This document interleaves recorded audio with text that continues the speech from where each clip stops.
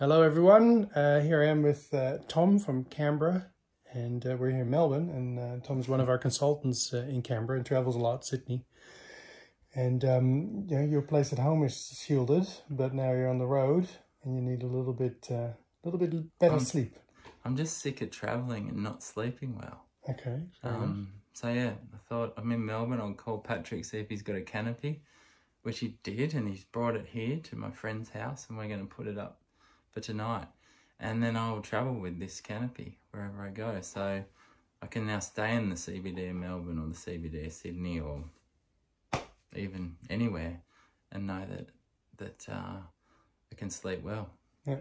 Yeah. All right. So maybe we'll take a quick measurement to see what the levels are Perfect. without the canopy, and then we'll put it up and yeah measure after. Excellent. Cool. All right. Let's get to work. Yeah. That's the All thing. Right. You just once you know, and you sleep, once you sleep well at home, like I can't. I thought I slept well, mm. but now I know I didn't. Mm. I thought I actually thought I slept well. Mm. You don't realize how good sleep can be. Like when wow. you shield your home wow. properly, it's amazing. You have good sleep. You the night goes quickly, mm-hmm. and you wake up happy yes. and rested, and feeling like it's been a mm. quick night instead mm. of mm. instead of thinking I've tossed and turned all night. Mm. I've had a good sleep, but I've I've known every moment and every turn, and Gee. you just don't know what good sleep is. Mm. I had a lady who um, she said she woke wake, wakes up early in the morning, like four o'clock every morning, has to go to the bathroom, mm. and then she can never get back to sleep. Yeah. And when we turned the two electrical circuits off that were causing the electric field exposure, on those nights when she gets up to go to the toilet, she can get back to sleep. Because yeah. they did sort of a, a, test, you know, the husband would go to the circuit breaker panel ah, and turn him off, or not turn him off, without the rest of the family knowing what he did. Mm. And on those nights when they were off, she could get back to sleep. Mm. Weird, isn't it? All right.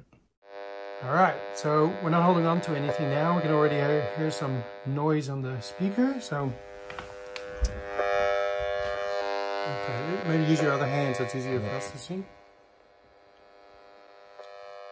Wow, that is potent, isn't it? All right, move your arm around a little bit. See, so well over 4,000 microvolts. Can we crack five? no, Let's get to five. Here we go. Oh, what we go. got there? Yeah. okay, yeah. so now th this stuff always varies because your exposure is never is never constant, of course. So this number can go down, it can go up during the night. Um, but needless to say, it's potent, which is surprising given the location mm. here. We're surrounded by trees, but obviously there's I wasn't expecting this at all. Yeah. I was getting out of the CBD to be in a quiet zone.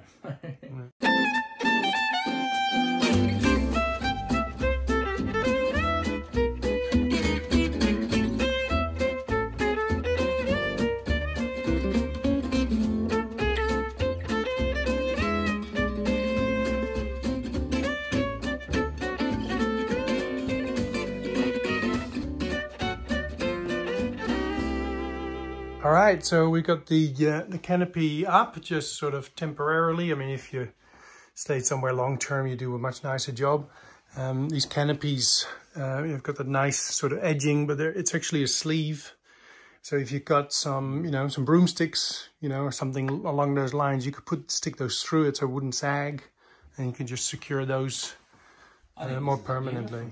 Yeah, I think it looks really looks really nice. But anyway, we did. Okay, so we've got a couple of those easily removable sticky hooks. In hindsight, we would have put those in a little bit more of an angle so your cable doesn't slip off so easily.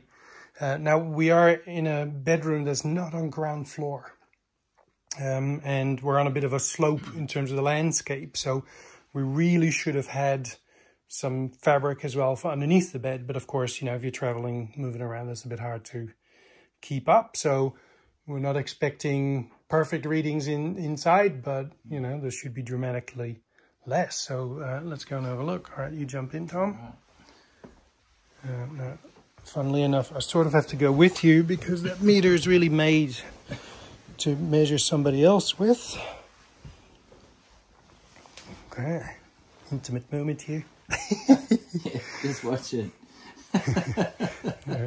Yeah, it's, it's on YouTube. No, no, no, fooling around. All right, so I've got the the um, the door opening nicely lapping over. You see, there's a good 30, 40 centimeters, a good foot of overlapping, so that's great.